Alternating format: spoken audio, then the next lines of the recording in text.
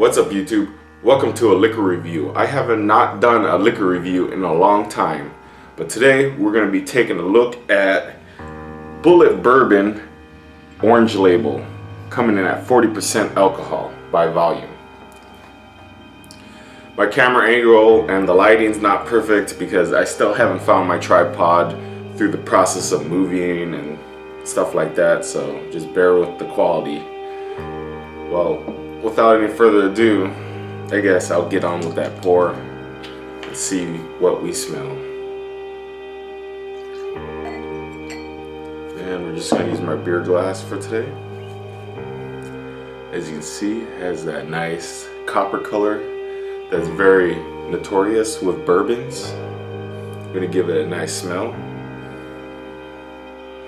Right away, you get that bourbon malt in the background. You get kind of a sour smell coming out, a little bit of spiciness. The smell kind of gives you a tale of what the actual taste is going to be. So without any further ado, I'm going to go for that taste. I got a bag of ice here, so we can kind of water it down a little bit, see how it tastes in that way.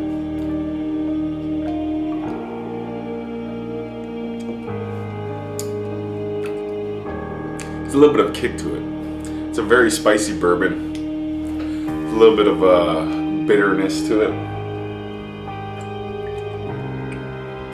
Kind of more like a sour. You definitely taste the barrel. You get that aged flavor in there. You get your malt. You can taste the grain.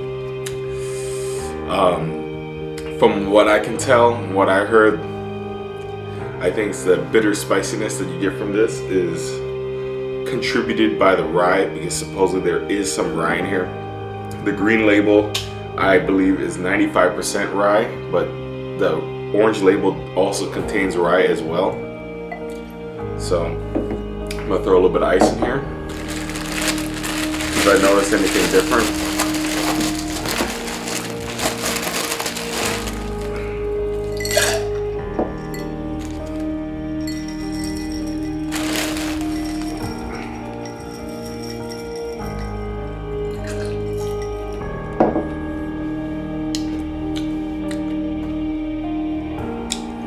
adding the ice definitely kind of calm down the spiciness. You still get the spiciness at the tail end after you swallow, kind of the aftertaste on your taste buds.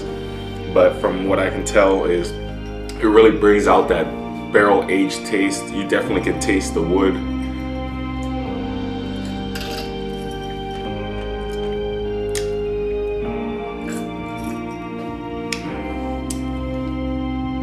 I would say the sweetness and bitterness comes out a little bit better with the ice in there, but it does tone down the spiciness. As you can see, color changed a little bit, but not by much.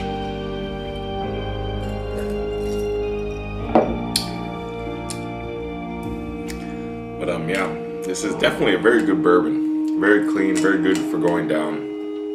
Like I heard some say, it's a good co cocktail mixer because there's so much going on with this bourbon because it contains rye and stuff compared to like Jack Daniels or Maker's Mark, which is mainly all wheat, I think it is. There's no rye in those. So it's a more of a straightforward bourbon, while this one has more of a characteristic. So it can actually alter your drinks a little bit when you're making drinks.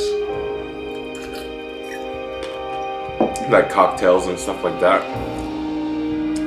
But I guess I would have to go on and get give this bourbon a rating because this bourbon's so tasty, and I like the notes that I find in it. Even though the spiciness can be kind of intense, especially when you're drinking it straight, I still would have to give this A minus. Very good bourbon in my opinion. I would definitely recommend you guys out there to go and pick a bottle up. It is decently priced. I would say it's it's a higher quality than Jim Beam or Jack Daniels, but the pricing is not too far off from those brands. But until next time, YouTube, thanks for watching.